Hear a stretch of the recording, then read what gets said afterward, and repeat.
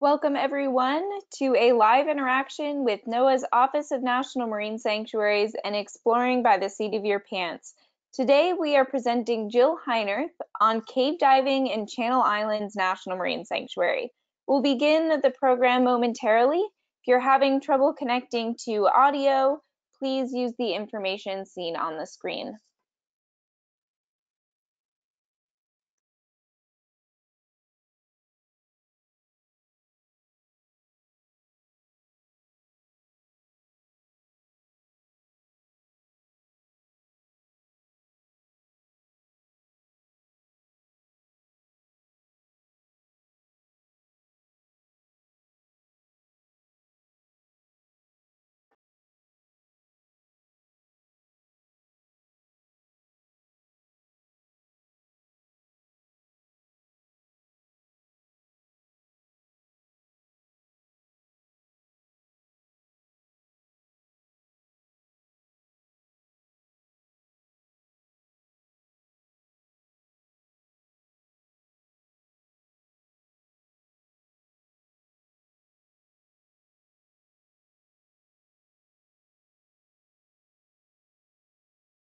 Hi, everyone, and welcome to a live interaction with NOAA's Office of National Marine Sanctuaries and Exploring by the Seat of Your Pants. Today, we are with Jill Heinerth, who will be presenting on cave diving in Channel Islands National Marine Sanctuary. Before we get started with Jill's presentation, I'm going to introduce Joe Grabowski from Exploring by the Seat of Your Pants, who's going to give us a run of today's program. Hi, Joe. All right. Hey, Hannah. Well, thanks so much for that intro, Hannah. As mentioned, my name is Joe Grabowski, and obviously welcome everyone to today's live interaction. Uh, I run an organization called Exploring by the Seat of Your Pants, so I want to take a minute now uh, just to introduce that to you briefly. So Exploring by the Seat of Your Pants is all about bringing science, adventure, exploration, and conservation live into classrooms across North America and beyond. So we run virtual field trips, virtual guest speakers, 30 to 50 live uh, events a month for classrooms all over, all 100% free to join in. So if you want to check out the website, it's exploringbytheseat.com, and that'll bring you to the website. You can see our event here up at the top today. Uh, really important as you scroll down to sign up for the newsletter. We send out a few newsletters each month to update you on all the events coming up and how you can register and sign up to join in in a variety of ways. And then we're not doing a whole lot over the summer, but we do have a few events each week, such as uh, Jill's event today, and then tomorrow at 10 a.m. Eastern, Lemur Science 101 with the Duke Lemur Center. So that should be pretty darn cool. With today's interaction, I also want to share that we are using Slido. So there's multiple ways you can find it today to join us to take part in some poll questions uh, during the event. You can also use this as a spot to send us in some questions uh, during the Q&A portion. So I will watch the Slido room. I will also watch uh, the Q&A bar in the GoToWebinar, but you can go to the website. It's just sli.do and it'll ask you for an event code. Today's event code is CAVE. There's also this direct link here, which I've put in the chat bar of the GoToWebinar. And if you're quick with your cell phone, I've got a QR code uh, up on the screen. You can scan it right now and you can take part in the poll questions uh, on your cell phone. Those poll questions are open right now. I'm gonna come back from that screen share. Uh, as mentioned, we get to hang out with Jill Heinerth today. It's going to be pretty darn cool. She's amazing. Uh, but I'm going to throw things over to Hannah first, and she's going to talk a little bit about the National Marine Sanctuaries in general. Awesome. Thank you, Joe. I'm going to take back screen sharing, and I'm going to tell you a little bit about NOAA's Office of National Marine Sanctuaries. So my name is Hannah McDonald. I'm the education specialist with the headquarters office, but the NOAA's National Marine Sanctuaries encompasses over 600,000 square miles of protected marine waters.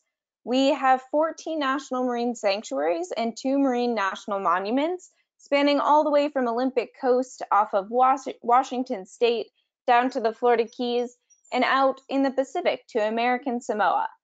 Next, I'm going to take you on a virtual tour. But first, before that, I want to make sure that you have been able to access Slido. So here's where we're going to be making the presentation interactive. I would like to know if you're watching this stream with anybody else, and if so, how many people. So Joe is going to moderate that and let me know how many people are logged into the Slido room and if All you're right. watching with people. Excellent. Let's take a quick look. Looks like a few have found the room so far and the numbers are slowly going up. Let's take a little look at what we have here today. So we have a lot of single viewers, but we do have some groups of two and three tuning in with us today. That's great. And if you are still looking for the Slido room for the interactive portion of today's interaction, it is located in the chat. Joe has dropped the link so you can go find it there. All right, and I have uh, the, the tour is starting now. We are going to start in the most northwest corner in Olympic Coast National Marine Sanctuary.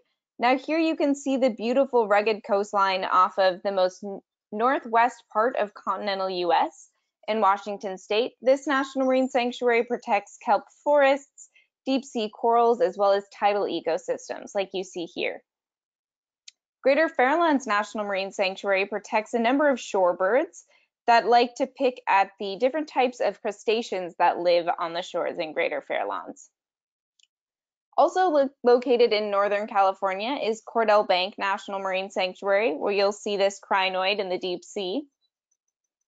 Monterey Bay National Marine Sanctuary, also located in Northern California. Here we have an elephant seal. Channel Islands National Marine Sanctuary is the last sanctuary in California, located 30 miles off the shore of Santa Barbara we're going to be learning so much more from Jill today on Channel Islands and the caves that are there. So I'll leave a lot of that up to her. Going further west, we have Papahanaumokuakea Marine National Monument, which is one of the largest marine conservation areas in the world. As you can see, it protects some of the most charismatic marine species like this Hawaiian monk seal and green sea turtle. Hawaiian Islands humpback whale protects uh, breeding humpback whales, as you can see here. The National Marine Sanctuary of American Samoa is located even further into the Pacific, and it protects one of the largest known coral heads in the world called Big Mama. Flower Garden Banks National Marine Sanctuary is about 100 nautical miles off the coast of Galveston, Texas, so we're bringing it back to continental US, and protects a abundance of coral reef ecosystems and various banks. Here we have a moray eel. Florida Keys National Marine Sanctuary protects the Florida Keys Reef Tract. Here we, you can see a ray amongst the reefs. Gray's Reef National Marine Sanctuary protects another reef ecosystem, as well as here we have a loggerhead sea turtle. Monitor National Marine Sanctuary is the very first National Marine Sanctuary that was established, and it protects the USS Monitor, a Civil War era shipwreck. So we're going from our very first National Marine Sanctuary on this tour off of North Carolina to our most recent National Marine Sanctuary, Mallows Bay Potomac River, located in the waters of the Potomac River in Maryland. This National Marine Sanctuary protects the Ghost Fleet, which is a bunch of shipwrecks partially submerged in the Potomac River from World War I and World War II. Stellwagen Bank National Marine Sanctuary is located in Massachusetts Bay, a great place for both bird watching and whale watching. And Thunder Bay National Marine Sanctuary is located in Lake Huron off of Michigan in the Great Lakes, and it protects over 200 shipwrecks. So now that we've done a little virtual tour, I would like to know if any of you have visited a National Marine Sanctuary. So if you want to answer this question, it's over in the Slido room, which is down in the chat. So if you want to click on the link in the chat and then type your answer in Slido, I'll see what Joe says is coming in. All right. Well, we are crushing it today. I think we have a lot of returners from some of our past sessions. We have 96% uh, reporting that they have heard of the National Marine Sanctuaries before. That is fantastic. And is that the have heard question? I think I missed a slide on that one. So I w- I'm wondering if people have now visited. Has okay. that question been posted too? That one's up there too, and we're at a 65-35 split. Oh, awesome. That's great. So 96%, that's a ton of you that have heard of sanctuaries before, and I'm thrilled to hear that. And 65% of you that have visited, you have been very lucky. I'm hoping that Jill will give us a sense of place of what it's like to visit the caves of Channel Islands through her presentation today. Before we get started, I want to tell you a little bit more about what National Marine Sanctuaries do. So we protect things like the sea giants, the whale sharks that live in Flower Garden Banks National Marine Sanctuary, to the small sea life like reef fish that live on reefs like the shipwreck reef on Monitor.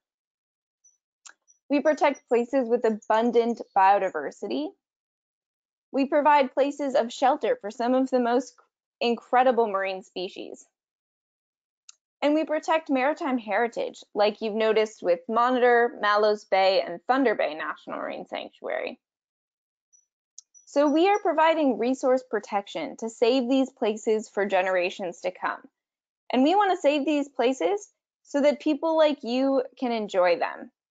These are very special marine places that we want you to be able to paddle in, to fish in, to snorkel in, to boat in, to surf in. These places are truly yours. And with that, I want to introduce you to Jill Heinerth. She's a cave diver and explorer in residence with the Royal Canadian Geographical Society, and she's also an author. She's participated in various films. She has an incredible portfolio and is one of the best divers in the world. So I'm thrilled to announce her and truly someone who has been able to get into your sanctuary. So Jill, I am going to change over the presenter to you and you will be able to share your screen. Okay, now uh, show my screen. Okay, and let me bring up the presentation. Just so everyone knows, we were having a little trouble uh, allowing you to see me. So, but that's okay because I know you came here really to see my images instead. So, uh, so you'll uh, you'll be able to see those. Um, can you see that, Hannah? Yep, that looks great. Okay, awesome.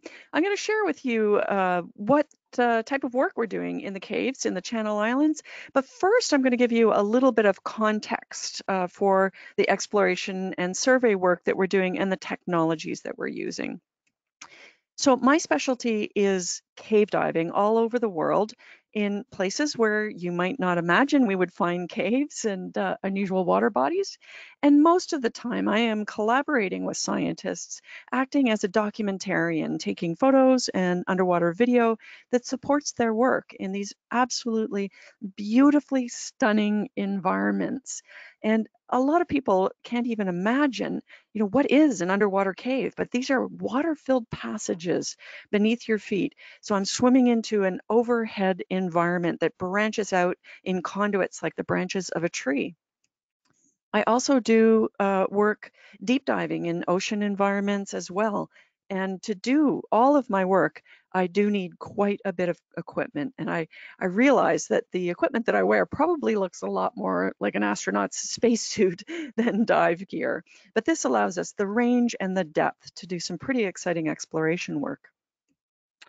Cave divers have come a long way in their documentation work. Um, what you're seeing here is an open circuit diver, so someone who breathes in and then exhales and makes bubbles, um, where these days I am using a rebreather that recirculates my gas, um, and so I don't even make bubbles when I'm underwater.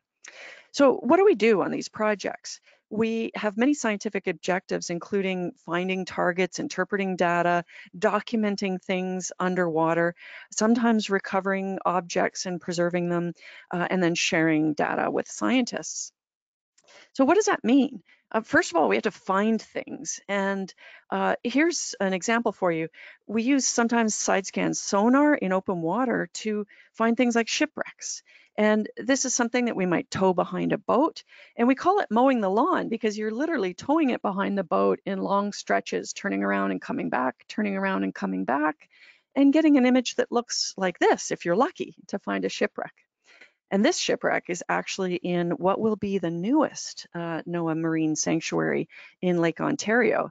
And here's uh, first pictures of uh, this particular shipwreck that I shot. So we have to interpret the data that we um, get from these side scan uh, images. And just to give you an example, uh, on the upper right, you're looking at what we would see, and you see all kinds of black dots in the colorful bands, and the colorful bands show you the depth. The black dots are like a gap in the data. And if you look in that sort of center lower picture, what you're actually seeing is either an overhang or a cave. Um, and so we're getting a, a void in the return. So when we find this kind of data and we see these steep locations and, and potential, you know, black spots that might be uh, overhangs or caves, we go and we look for them. Uh, and usually that means sending somebody down. We also find other things when we side scan uh, uh, uh using sort of more more advanced side scan sonars. We find things like shipwrecks full, full shipwrecks in, in all their glory besides the caves. Now, uh, when we document things in the cave, what that means is we have to first travel to a location, like here is a cave in Cuba. Sometimes we have to uh, make long journeys through the dry portions of the cave and then eventually get to a point where we can get in the water.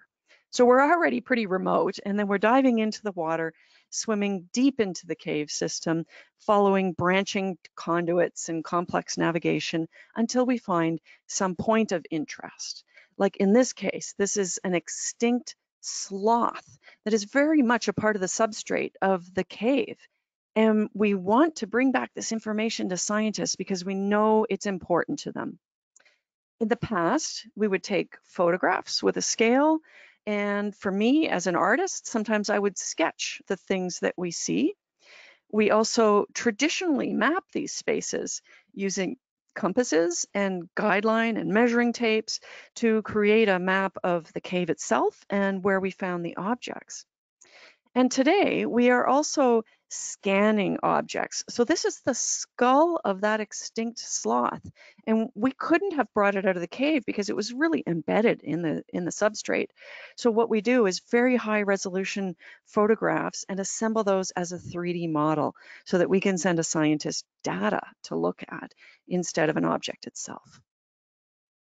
Now, sometimes we are asked to recover or preserve um, uh, for preservation an artifact. And um, in some cases, like with a shipwreck, for example, we might bring up uh, something like a sextant. And just to give you a sense of what it takes to do this, first of all, you have to take or get a permit. So the permit could take a couple of years, and whether that's for an object or for live material, it can take a long time to get a permit. And then we have a very careful plan for recovering something so that it's not damaged. Because you can imagine some of these objects, like this human skull, for instance, are not just incredibly fragile, but they're very, very important artifacts and very difficult to conserve, expensive to conserve. But in the past, we have been asked to bring an artifact like this Lucayan skull back to the surface to a paleontologist who will study it and um, they have the challenge of conserving it over a long period of time. But these finds can be very significant and may include materials that are completely extinct, like this crocodile from a Bahamian cave. But if they're not properly conserved, then you might find a note like this, where, you know, your object is starting to smell bad, right? So we employ new technologies um, the whole scanning process in order to bring the data instead of the object to the science in much more detail. And when we can bring them the data, we can bring them the context for the object, like where it was, how it was sitting on the ground, um, what other things were nearby the object. Uh, and then we can provide this data in a very compelling way to many scientists at the same time around the world so that they can study an object simultaneously. So we scan these areas to show them, you know, pottery beside bone, beside other things, and we can provide the scientist with a model of the cave system, the shelf where we found all these materials. And then they can review these using a Microsoft HoloLens and experience these assets in a holographic manner. So here's what that looks like.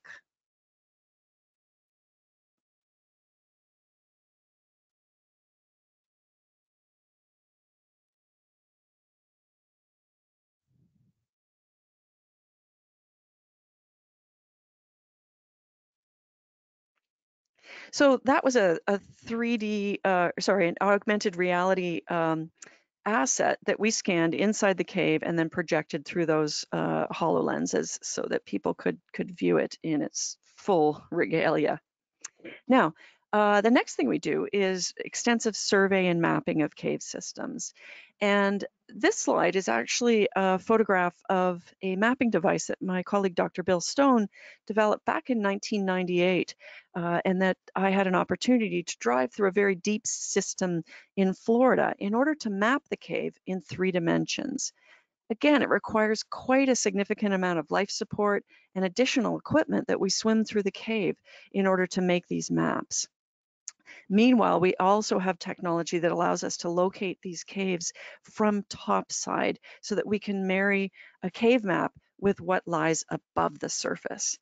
And these maps are absolutely amazing because we can map a cave no matter what the visibility of the water is. Whether I can see the walls, the floors, or the ceiling, the sonar mapper can see it and create this point cloud data. And this mapping device has come a long way since then. This is the Sunfish Mapper, and it is now uh, not needing me to drive it through the cave system. It can actually go and explore the cave on its own. So we can set it loose into the cave. It's artificially intelligent, has its own brain. Um, it can make decisions to turn left or right. It will map the cave as it swims through and we can attach a tether to it if we want to monitor what it's doing, but we're not actually sending instructions to it. It's doing its own thing. Now, all of this comes together in the Southern California continental borderlands, which are in the Channel Islands National Marine Sanctuary, meaning that under very uh, different sea level conditions, this would have been the edge of the west coast of the Americas. So uh, in the Channel Islands uh, National Marine Sanctuary, we have several goals. We are investigating submerged caves and ancient shorelines that were carved by the sea um, sometime in the last 19,000 years under lower sea level stands.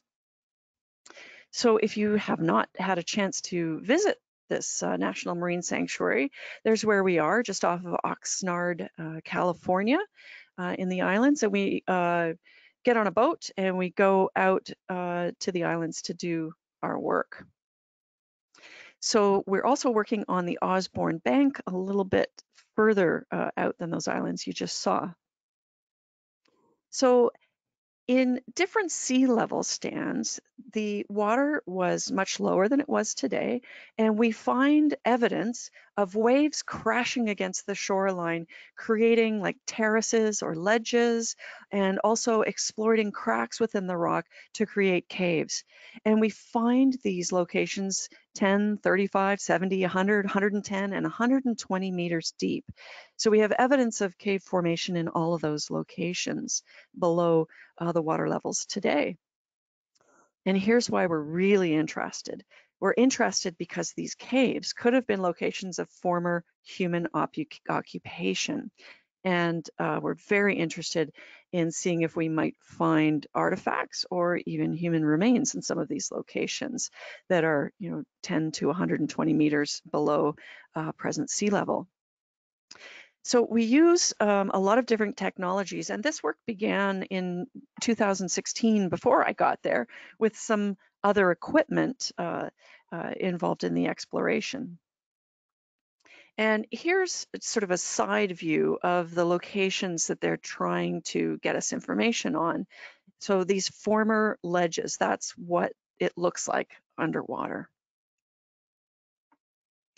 So to date, uh, we've done some of the, the, the shallowest caves, and we're working our way uh, deeper and deeper with each excursion when we go out there. Today, if you go to the Channel Islands, um, what you'll see is the waves crashing against the shore, and where there are fissures and cracks, um, you will see caves at sea level. So the waves pound against these cracks, and if you're on the inside looking out, the wave action actually um, you know comes far into the cave it literally like a pile driver aids in cave formation and some of these sea caves are quite extensive at today's current sea level this is Painted Cave, and you could drive a boat right into Painted Cave.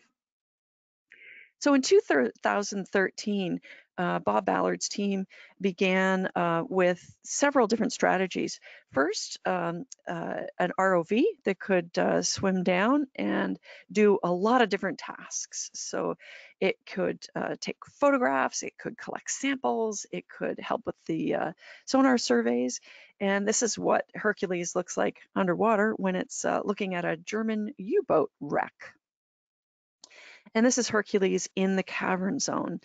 But this device is on the end of a tether, and things that are tethered don't do well in caves. They get entangled and can't find their way out, and then we end up having to send divers to rescue them.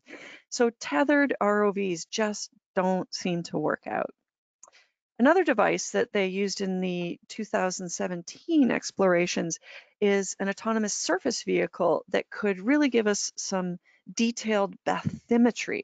So that's uh, like an underwater image again of very detailed um, elevations in essence. And that again would help us to pick target locations that you can see with these white dots and give us a good sense of the steepness of, of slopes underwater so that we can get an idea of, of where we should look. And this bathymetry is, is quite compelling. It's, it gives us a lot of information. But ultimately, we have to go a little bit deeper and we have to send a diver down to confirm is this just a small overhang or is this actually a cave? And how far into the planet does the cave go? So divers go down. We're using rebreathers to give us uh, an extended range. And we literally take a reel like you see in this photograph and run it into the cave so that we have uh, a guideline to act as our, our safety so that if we lose visibility, we can hold on to the guideline and come out of the cave just hanging on to that guideline. Once we've established a guideline, we can use a very simple device where we used to have to use a measuring tape and um, and estimate distances. But now we have this device uh, made by Sebastian Kister. It's called NEMO, and we can run it along the guideline, and it'll take our compass bearing and measure the distances between our stations and help us slowly to develop a rudimentary model of the cave conduits itself. And that can be extremely handy as we're also testing other new technologies and we want to overlay our maps and see, well, which is doing the best job for us. So some of our work is this comparative work of, is a cave survey done traditionally better? Is NEMO better? Or some of these advanced technologies, are they working out better for us? This is Christina Zanato running a line into one of the caves in the Channel Islands. And here she is actually using the NEMO device on the line to measure. And as we're doing our measuring work, we're also finding all kinds of cool stuff like leopard sharks tucked away on the uh, shelves in the caves. There are animals inside these cave systems, both encrusting the walls and the floor and the ceiling, but also animals that use these spaces for habitat. So when we make a plan, we sit down as a team. Uh, this is Bob Ballard and Kenny Broad, and uh, and then we you know break into groups to use these different technologies. We took Sunfish on our last cruise uh, down uh, to see what it could do. And when we first deployed Sunfish, this was the first time that it had been in the ocean in a location where it would experience heavy surge and currents, and we weren't sure how its thrusters were going to manage. We did at first run this cable to Sunfish so that we could see what it was doing while it was making its decisions.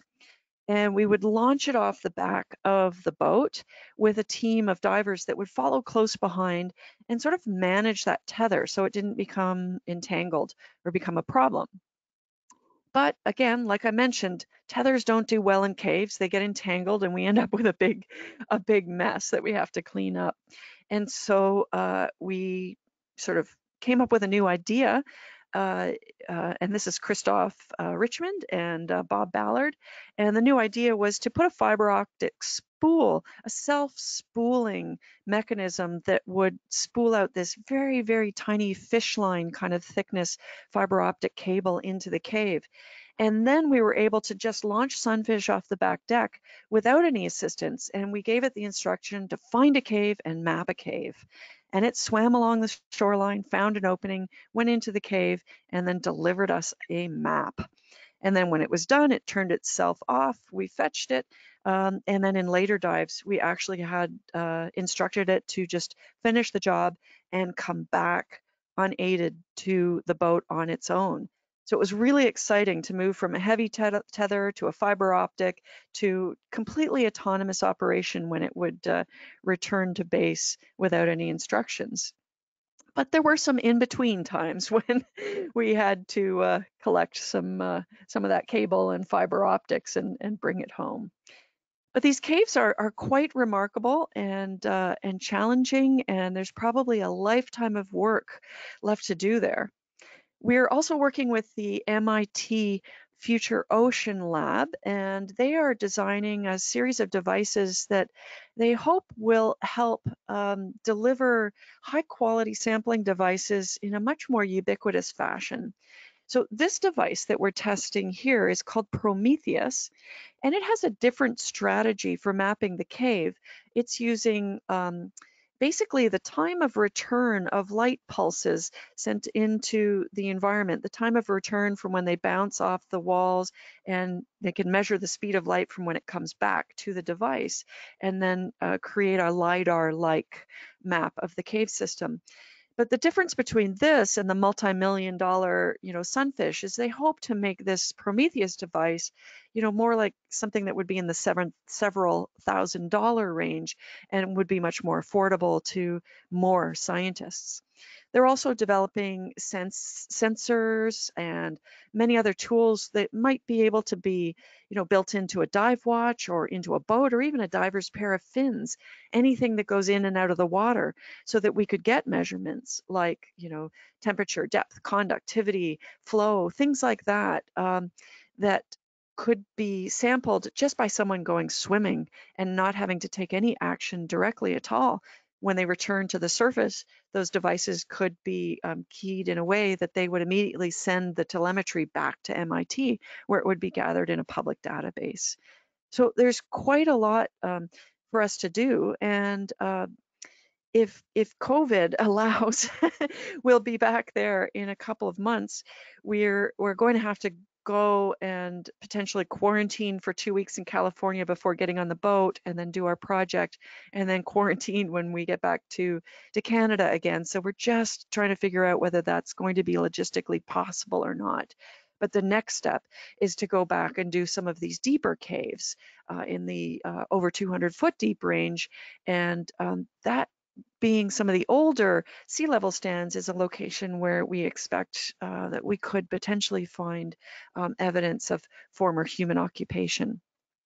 So it's incredibly exciting the things uh, that we can do in locations like this, and um, and it happens only because of of you know myriad sponsors from the uh, marine sanctuaries themselves, the Office of Naval Research, National Geographic, and then in my case, you know, personal sponsors that um, help to support me with um, gear and equipment to get these sort of things done. So I am going to pass back the screen sharing, uh, stop uh, showing my screen so that we can answer some questions because I think there's probably going to be a lot of discussion and, and questions about what we're finding or how we um, do this sort of work. And anything goes. There's uh, no stupid questions. uh, so, uh, so let's entertain anything that anyone wants to ask. And just as a reminder, you can send in those questions both in the control panel on GoToWebinar and in the Slido room. And the link for that is in the chat. Thank you so much, Jill, for that presentation. Mm -hmm. All right. Well, let's get to some of that Q&A action, Jill. So yeah, our first questions here is from Stephanie, and she would like you to go a little deeper into why recirculating your air is important or beneficial. Mm. Sure. So when you use a scuba tank, you inhale from the tank and you exhale and make bubbles, and you're wasting a lot of uh, very precious oxygen molecules. With a rebreather, we can recapture all of that exhaled gas, we can scrub it clean of carbon dioxide, and then re-inject oxygen uh, in order to make up for what the body has metabolized. With a regular scuba tank, the deeper you go, the faster you'll use your gas because of the effects of pressure. Each inhalation is going to be a much greater density of gas. And so to do deep diving, we would need to use many, many tanks, 10 tanks. Even some of the deep dives I've done could require hundreds of tanks of gas. But a rebreather can be worn by a diver and we can wear bail out. So if we have an emergency, if the rebreather fails, we can bail to open circuit. But if everything goes well, then we can use a very, very small volume of gas to go deep and far into a cave and um, conserve our resources. So that's a great question. Thank you so much for that. All right. We've got a few more practical questions about the gear.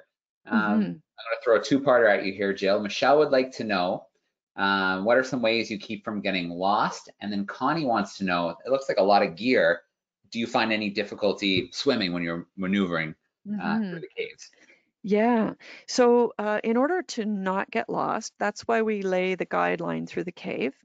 And when the cave gets to be complicated, like the branches of a tree, we might have multiple guidelines happening, but we use uh, a very simple low-tech uh, triangular marker that weaves into the line and points the direction out of the cave so that we always know which way is out, both visually, but if we lost all of our visibility and we were completely in the dark, we could put our hand on the guideline. And as you run your hand on the guideline, you bump into the arrows that tell you the way home.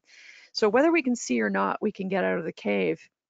And then, of course, I see the future with working with something like Sunfish. If um, Sunfish is exploring and making a map as it goes in, it follows its own map out. So I hope one day I'll have that sort of technology on my wrist and that my computer might guide me back out of the cave. Oh, and the second question you had was, isn't it hard to swim with all that stuff? So I have swam with as much as five to 600 pounds of equipment on my body, but we uh, design all of that equipment to be neutrally buoyant. And I'll tell you, sometimes that's challenging. Like as we were developing um, uh, well, as, as MIT was working on Prometheus, I actually went down to Boston uh, to work in a swimming pool with the developers to help them trim and balance Prometheus because it's one thing to create a device that might be able to map in the cave, but if it weighs too much, I can't swim it. And if it's really bulky or tough to push through the water, I can't swim it. And I need to be able to swim a nice smooth pattern to make a nice map. So I spent a few days in the swimming pool helping them um, to decide, you know, how big does the airspace need to be inside the housing in order to float this? Or do we need to trim it with little lead weights in order to make it level? And that happens with every single piece of scuba gear that we dive so that we're actually capable of, of swimming it. All right. So Zane and Bob are both curious. Uh, this question is coming from the Slido room. They both like to know um, how long can you stay in a cave? So maybe mm -hmm. what's what's your longest time in a cave? Yeah, my longest underwater uh, mission was on uh, a project using the first iteration of the mapper, and that was a 22-hour mission. Uh, I was actually underwater for about 12 hours of that, and then in a pressurized habitat to finish my uh, my decompression to get home. Most of my dives would be in the one to three hour range, but a deeper decompression dive, it's really not unusual to be in the five to six hour range for some of those. All right. We've got Elva tuning in with us, and Elva would like to know, can you add sensors to Sunfish or Prometheus to capture some environmental variables while it's mapping? Or does it have it already? Mm -hmm. Yeah, that's absolutely the plan. Um, so uh, Bill Stone's uh, mappers have progressed obviously since that first one that I was uh, driving at Wakulla Springs to Sunfish today. And so he's had different iterations of that that have had different sensing capabilities. It's really easy for us to do things like temperature, depth, conductivity, um, that sort of stuff. But he's even had some that have had little manipulator arms so that you know, if Sunfish's artificial intelligence, you know, ticks a few boxes that might uh, indicate life or something, it might be able to take a sample. Uh, and so those are the kinds of, of things that we, we look forward to building into all of these devices in the future, and then also into into things that people wear into the water so that we can turn everybody into a citizen scientist. Okay. Um, now uh, we've got a question here.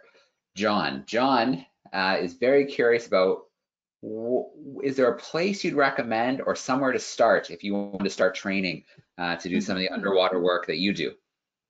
Yeah, uh, so scuba divers have to do a lot of extra um, training programs before that they can become a cave diver. So you do things like advanced scuba rescue diver, um, uh, nitrox diver, deep diver, all of those things are prerequisites, decompression procedures, and then you take a cave diving program. And then you need to, of course, get experience in between each of those steps. So it is a it is a long process, um, but and it requires a lot of uh, currency practice um, and real dedication. Uh, but yeah, there's lots of programs out there. There's lots of mentors out there as well. Okay. So I'm going to grab another question here from Butterfly O'Shea, and they're mm -hmm. curious. Maybe, uh, you know, they're kind of sitting at home and, and looking at what you're doing, and they're wondering um, what um, or sorry, this is actually Amelia. I've got another question from Butterfly that's coming up. But Amelia wants to know what, why go so deep into the earth? Why, why mm-hmm. just keep pushing further and further? Mm -hmm. Well, I look at underwater caves as one of the last frontiers for exploration on our planet. I mean, we know more about space than we do about inner space and our deep oceans right now. So these are spaces that are incredibly important to understand. You know, caves are virtually museums of natural history. We can learn about things like climate change in these spaces. We can find the remains of past civilizations and the bones of extinct animals. So caves are a source of great fascination. Then there's the biology of what lives in these caves. The animals are so unique that live in the darkness of these caves that they may teach us about evolution and survival or provide the materials for future bioprospecting, chemicals, pharmaceuticals.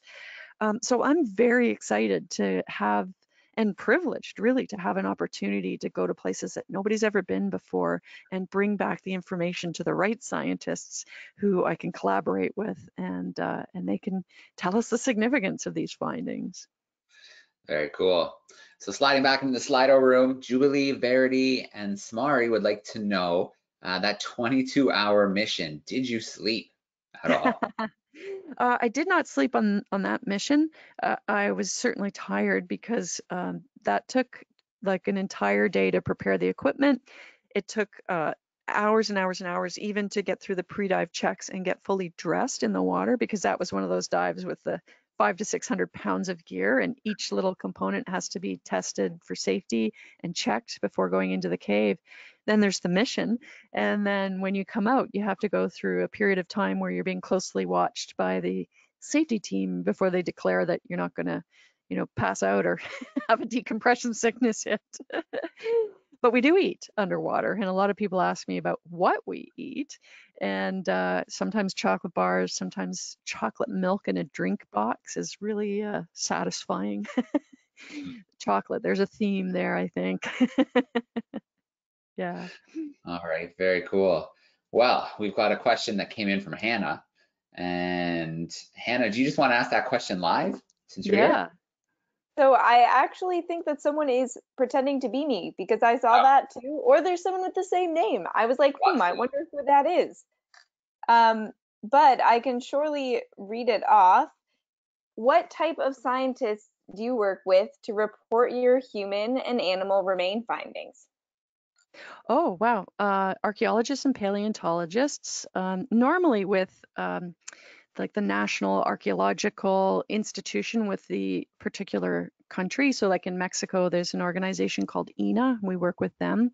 Um, it's very important when we're working in a foreign country to be collaborating with scientists from that country um, so that they are, you know, fully participating. And especially when it comes down to human remains. I mean, obviously, uh, it used to be extremely disturbing to me um, to be asked to actually bring you know, human remains out of a cave because that was somebody's burial. So I'm so much happier just bringing the data to people now and knowing that the uh, the human remains are staying exactly where they belong. Um, you know, when it comes to animals, like live animals, I work with different biologists um, who specialize in specific cave adapted species, as well as um, scientists that um, specialize in, in particular um, uh, animals like, uh, well, for instance, I think Andre Martel is probably on the call right now listening. He's a malacologist that um, specializes in bivalves, mussels, and uh, I'm doing some work with him, extending his eyes and hands into a cave in Canada. Um, so I'll take pictures and bring him uh, data of what I'm seeing of the mussels within the cave system.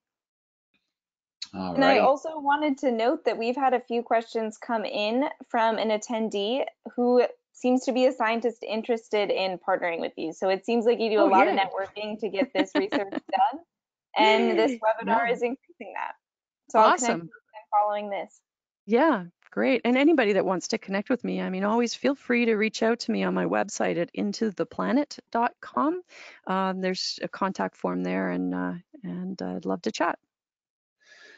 All right. So Melanie's got a good question here. Melanie wants to know, um, have changes in the environment, maybe an algal, algal bloom, oil spill, ocean current, uh, have they changed your plans for a dive? Mm, what a wonderful question. Um, yeah, we see a lot of evidence. I mean, you can imagine when I'm in an underwater cave, I am swimming through the veins of Mother Earth.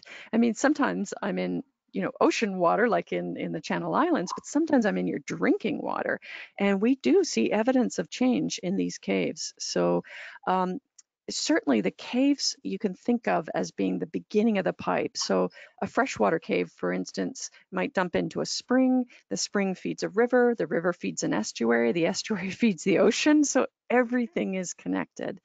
Sometimes we use dye tracing. So, uh, we will put a a special dye into the water upstream so we can see where it comes out and and that helps us to track things like a spill or a contamination. Um, and yet also it's important to know that when rain falls on the surface of the earth and it soaks into the ground and then ends up in cave systems it gets filtered to a degree but not everything gets filtered out of the water column so the water coming out of caves might have a high level of nitrates from agricultural fields it might have um, pharmaceuticals, birth control pills, antidepressants. Um, you know, we can detect all of these things in the water column, and uh, and that helps us to understand where they're coming from and where they're going to next. Okay. So this might be a question on a few uh, people's mind, especially if they're new to something like cave diving. So Debbie's curious about precautions or what you would do if something went wrong while you were in, a, Mhm. in a cave. Yeah, so we train very heavily for um, cave diving and we practice. So we practice drills over and over again so that we're fresh. And um, that way, when something happens, we know what to do. Before a dive, I will think about all the things that could go wrong and I'll do a last minute rehearsal so that if something startling happens, like suddenly I have a major equipment failure, I know how to respond so there's the you know the motor control of of actions that I have to take to save myself, but there's also mental control. I have to be able to take a deep breath and clear the fear away. So take a deep breath to slow down my heart, slow down my respirations, and then just focus on very small pragmatic steps, the next best thing to solve a problem or get me safely home. All right. So this might be, you know, akin to asking somebody, you know, say who their favorite child is, but Delta 21 wants to know what the most beautiful cave you were ever in Mm. was. Gosh, it's a hard choice. I, I absolutely love Dan's Cave in the Bahamas, but also some of the caves that I saw in Bermuda um, absolutely blew my mind. All right. Very, very cool. So I'm going to swing back to that question from Butterfly O'Shea this time. And where can you go to follow along, um, find more information if, if people want to dive deeper into into you And your adventures? wow. Yeah, my website, uh, intotheplanet.com, or uh, I actually have a book, uh, which is my memoir. Uh, it's also called Into the Planet My Life as a Cave Diver. And you can get that on uh, Amazon uh, in hardcover, ebook, or audiobook if you want to hear me narrate narrate my life story. Um, but yeah, check check either of those out. I've dropped the link to intotheplanet.com in the chat too, so you can click on it directly from the GoToWebinar control panel chat. Great, yeah. And Uh, YouTube, of course, as well. I have quite a few videos on on YouTube you can find. Yeah, awesome. Um, okay, so uh, first uh, comment here from, oh, there it is. Soul Wolf says chocolate is good. So they clearly like your choice of snacks uh, for Yeah. underwater. And then Phyllis, Phyllis would like to know if you have data about previous sea levels, could you calculate the length of time that humans were using those caves? Um, eh, yeah, so that's not my area of specialty, but certainly, um, certainly they they can. Um, we can find a, out about like the age of caves in in some interesting ways. Um, if you uh, were watching the news a couple of weeks ago, you've seen Sahara dust storms coming across the Atlantic Ocean and raining down on the Caribbean and even on parts of the United States. Well, that tends to happen um, in very uh, dry times on planet Earth at lower sea levels. And we can actually find the remains of that Sahara dust inside the formations inside underwater caves. And by matching that up with ice core data and other, you know, known climate uh, references, uh, that can help us to tell um, like when a particular cave was was dry and how old it was and and for how long it was dry. And then from there, I guess we can infer that there's a potential that humans might have been using these spaces in some of those time frames. All right. Uh, another good question here from the Slido room. If you didn't use a rebreather, would the gas coming out, could it damage the roof of the cave? Could it alter the chemistry of the cave? Yeah, wonderful question. Yes. Uh, so there are some caves that are extraordinarily delicate uh, in the world where we've actually banned the use of traditional open circuit scuba gear for that reason exactly because the bubbles hit the ceiling and then things rain down from the ceiling so the ceiling is is physically damaged and changed and we do of course change the water chemistry. So rebreathers are are preferable when we can use them. Now these caves um, especially the shallow ones here are getting so much water flow exchange that the ocean's doing like a pile driver of damage every time a wave crashes on the shoreline. The the surge in these shallow caves in the Channel Islands is so strong that it's it's literally moving us 50 or 60 feet at a time. And it's the the surge, we can actually feel it in the air spaces in our body. So we feel it in our middle ear. We can feel the pounding of the waves in our chests, even when we're far back in the cave. And it makes us seasick from time to time, all this waving back and forth out of control. so there, there are a few of us that actually uh, uh, got seasick while diving in these caves just due to the surge. Okay, so let's squeeze in one more question here.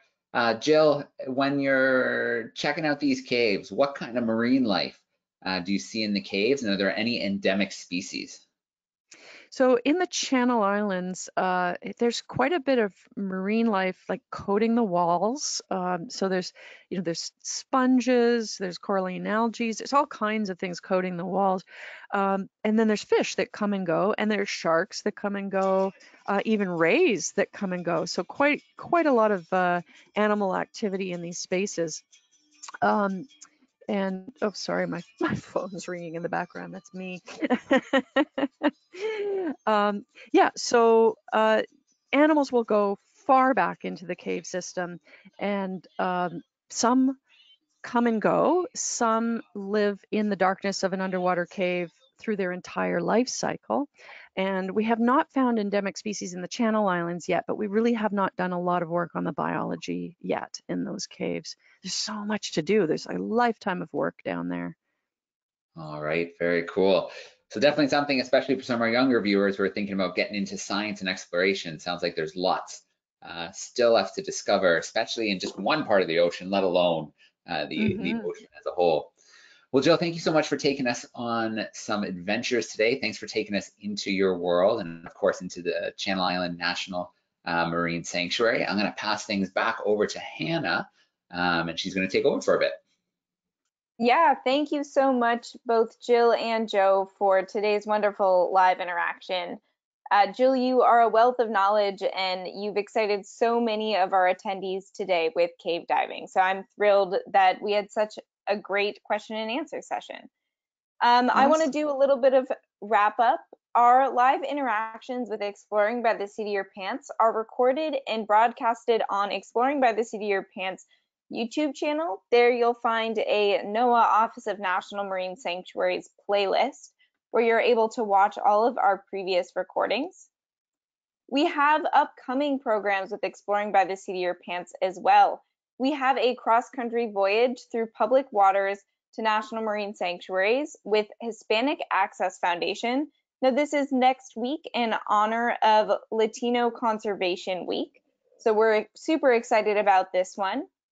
And then we're switching back over to some recreation in national marine sanctuaries with paddling shipwrecks, adventures in Thunder Bay National Marine Sanctuary, where we're going to be bringing on a paddleboarder and the research coordinator to talk about what it's like to paddle over shipwrecks. If you're interested in other live interactions like this one, we have the National Marine Sanctuaries live interactions for students. That's this series that you're attending now. If you're interested in other sanctuary featured webinars, we have the National Marine Sanctuaries webinar series tailored for educators. I'd also love to highlight Exploring by the Seat of Your Pants. They do many more live interactions outside of NOAA partners that bring in explorers and scientists from all fields and all over the world. So I definitely suggest you check out their page and see what interactions you can connect with. And then NOAA Ocean Today also offers um, live webinars. Their next one will be August 3rd, and it will actually be featuring Office of National Marine Sanctuaries. So check out oceantoday.noaa.gov to check out their deeper dive series. And with that, I would like to encourage you all and any adult that's participating to check out the NOAA Multimedia and Distance Learning Survey. We really appreciate your feedback as it helps us guide what topics and how we format our webinar series. With that, I want to send one more huge thank you to Jill and Joe for both tuning in to today's live interaction and making it super engaging for all of our attendees. And I'd also love to thank all of the attendees for being so excited about this presentation. And with that, this concludes today's webinar. Thank you, everyone. Thanks, Jill. Thanks. My pleasure.